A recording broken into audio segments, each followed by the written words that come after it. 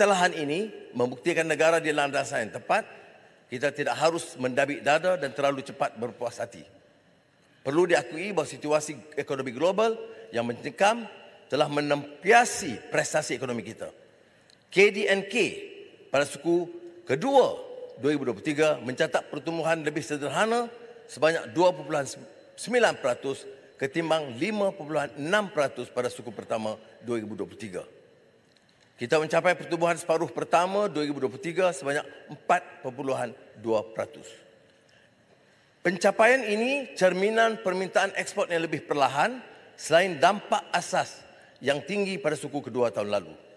Seiring realiti perkembangan ini, pertumbuhan KDNK bagi tahun 2023 harus diunjur semula kepada sekitar 4%. Kesempatan yang ada perlu dimanfaat untuk melakukan reformasi menyeluruh terhadap struktur ekonomi bagi mengembali tahap negara sebagai jaguh Asia.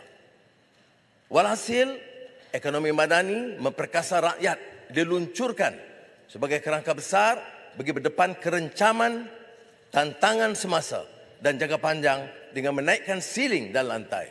Tumpuan utama adalah merombak struktur ekonomi dan mengangkat darjat hidup rakyat. Langkah-langkah segar di bawah ekonomi madani adalah mencapai tujuan tujuh penanda aras sebagai sasaran jangka sederhana.